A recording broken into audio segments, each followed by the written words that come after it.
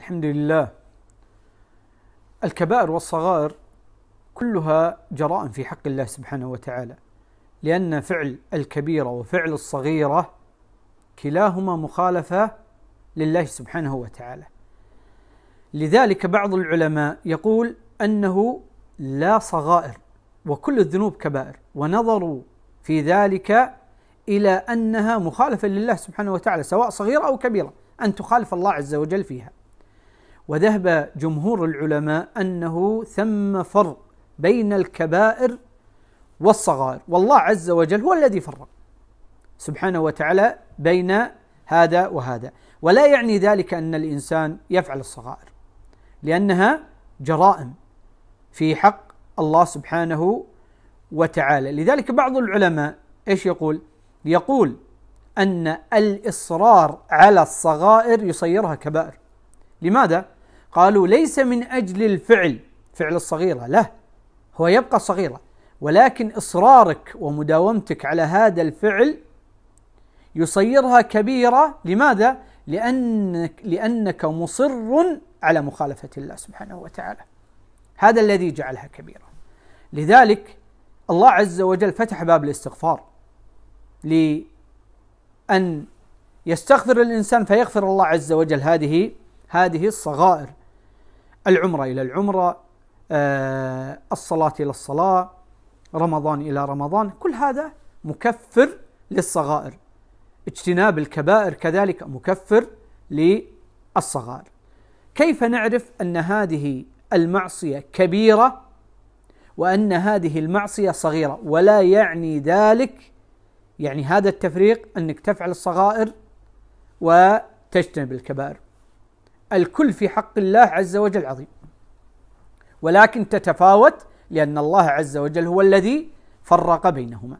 قال العلماء الضابط في ذلك أن الكبيرة هي ما جعل الله فيها حد في الدنيا أو وعيد في الآخرة.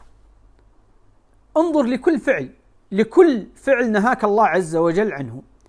إذا رتب الله عز وجل على هذا الفعل حد في الدنيا فاعرف أنه كبيرة. وإذا رتب وعيد في الآخرة توعدك في الآخرة فاعرف أنه كبيرة. مثال الحد في الدنيا. السرقة الله عز وجل رتب عليها حد في الدنيا. قطع اليد إذا هي كبيرة. والسرقة التي هي معروفة بالحد الذي حده العلماء.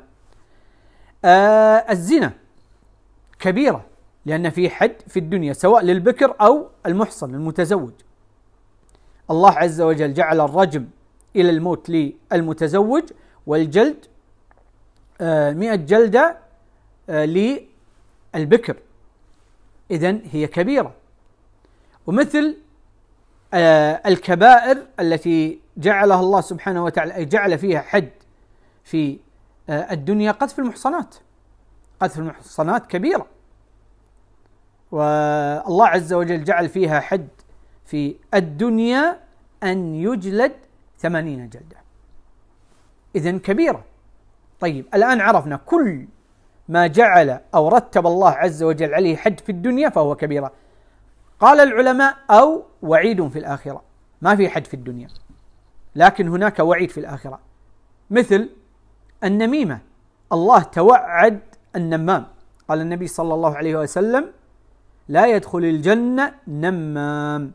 النميمة هو نقل الكلام بين الناس بقصد الإفساد. إذا هي كبيرة.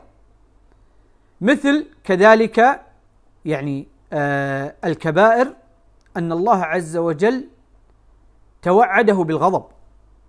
ومن يقتل مؤمنا متعمدا فجزاؤه جهنم خالدا فيها. وغضب الله عليه. ولعنه وعد له عذابا عظيما.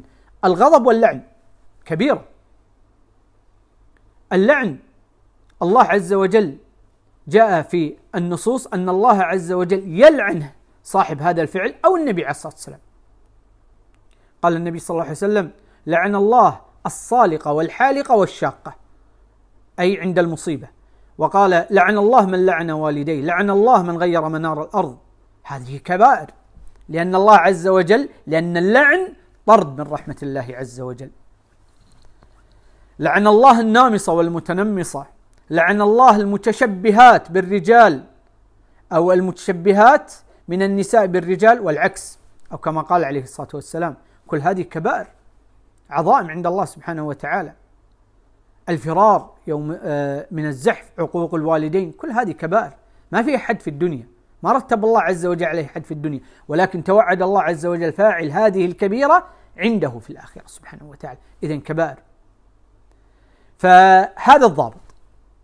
إذا نسأل وأن تجيب. كل ما نهى الله عز وجل عنه بهذا الضابط تعرف أنك فعلت الكبيرة أو أنك فعلت الصغيرة. ومثل ما سبق لا يعني هذا أنك تفعل الصغائر الكذب كبيرة ولا صغيرة؟ على الضابط. هل فيه حد في الدنيا؟ لا ليس فيه حد في الدنيا. ننتقل. هل فيه وعيد في الآخرة؟ نعم فيه وعيد في الآخرة. قال النبي صلى الله عليه وسلم إياكم والكذب فإن الكذب يهدي إلى الفجور وإن الفجور يهدي إلى النار. إذا وعيد في النار. لذلك جماهير العلماء على أن الكذب من الكبائر وهكذا في جميع الذنوب. جميع الذنوب. وفي كلام لابن عباس كلام يعني يقضي على مسألة هذا يعني ذنب أو ليس بذنب. جاءه رجل فقال له يا ابن عباس يا ابن عباس الغناء. سأله عن الغناء. قال هل الغناء يعني حرام أم حلال؟ يا أخوان هذه قاعدة خذوها كذلك. أسأل الله تبارك وتعالى أن يصلح سائر المسلمين. اللهم آمين. ويوفقهم لما يحب ويرضى. فقال أنا هذا على على ذاكرتي. طبعا أنا قاعد أتكلم على ذاكرتي. فقال أرأيت إن جاء الغناء يوم القيامة؟ أيأتي مع الحق أم مع الباطل؟ في شيء ثالث؟ ما في شيء ثالث. أم كل الأعمال كل الأعمال اللي عملتها في الدنيا إما أن تأتي مع الحق وإما أن تأتي مع الباطل. ما في شيء ثالث ما في شيء وسط. فقال مع الباطل قال أفتيت نفسك. خلاص انتهت.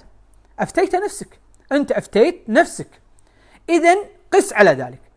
شرب السجاير يوم القيامة يوم القيامة شرب السجاير الدخان الآن. يوم القيامة يأتي مع الحق أم مع الباطل؟